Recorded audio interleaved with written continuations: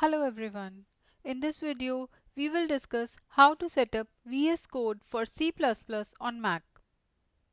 Basically, we will see all the configurations required to run or debug a C++ program in VS Code on Mac.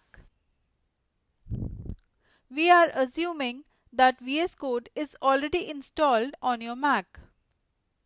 Mac OS comes with a default C++ compiler that is CLang. First, we need to check if the CLang compiler is already present in your system or not. For that, go to your terminal and type command clang hyphen hyphen version. If CLang compiler is already present on your system, then this command should display its version, just like this. If CLang compiler is not present in your system, then you can install that using the command xcode minus select hyphen hyphen install. Once you have verified that the CLang compiler is already installed, open the Visual Studio Code.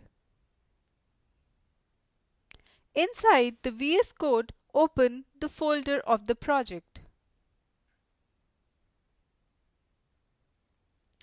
Like we have created an empty folder and we are going to open this folder in the VS Code.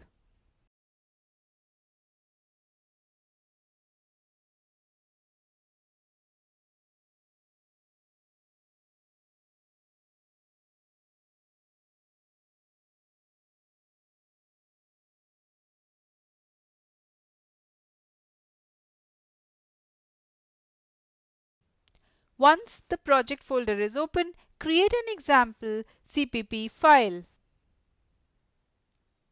Inside this example file, write a program to print some strings on the console.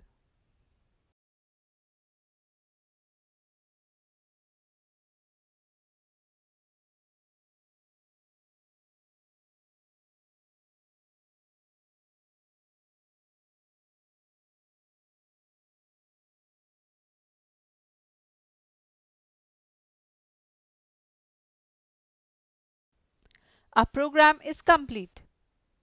Now let's try to run this program.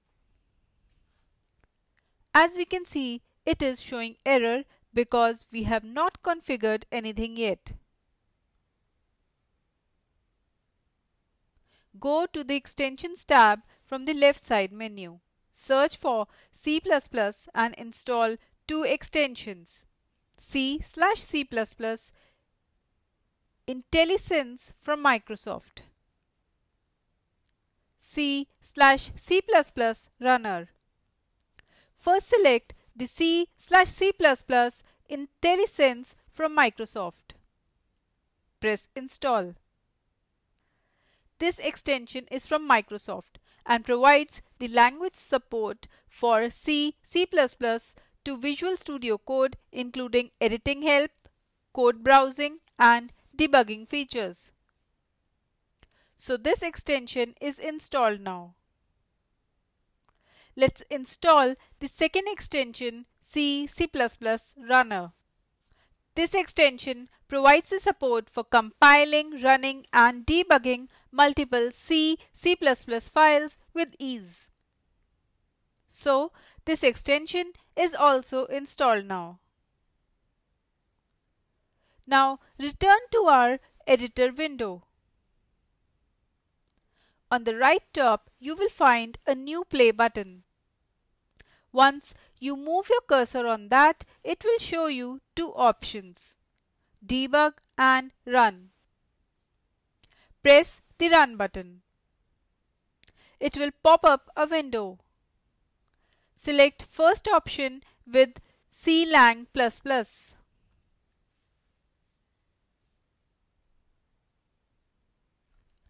It will start building the code.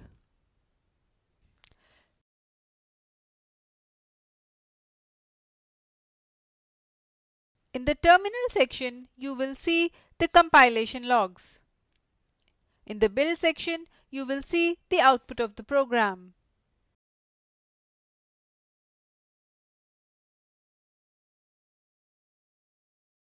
In the compilation logs, we can see it has used clang++ compiler from a location with some options like current selected file and output file name.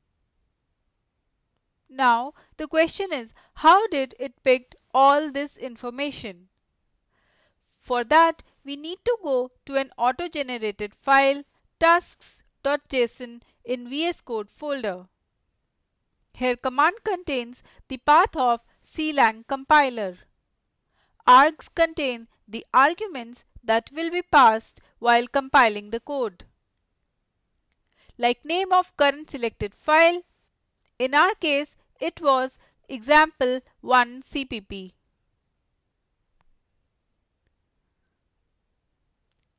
Output file will be of same name but without any extension. Like in our case, executable file will be example1 in the same folder. Now let's create another C++ program with name example2.cpp and try to run that using the same step. In this program, we will print some other text.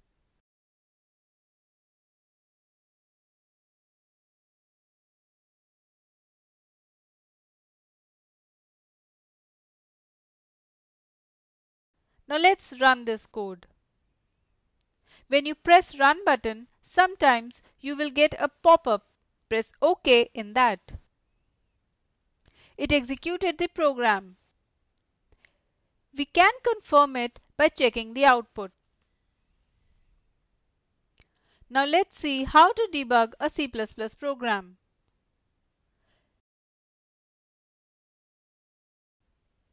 We have a different code now in which we have few string variables. Let's debug this C++ program.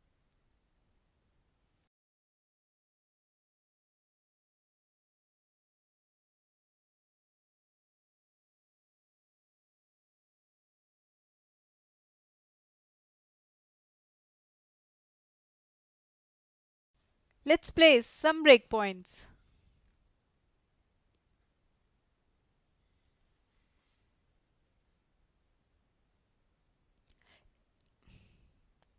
Instead of Run button, select the Debug button. It will start debugging of code. Control will stop on first breakpoint. In the debug mode, we can check the runtime values of a variable. Press step over. Then control will stop on second breakpoint. Check the runtime values of another variable.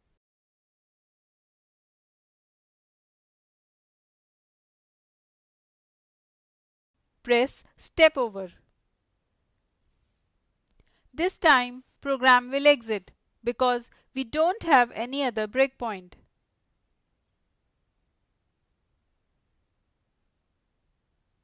That's all for now. Today we have learned how to set up VS Code for C, C++ on macOS. Thank you so much for watching.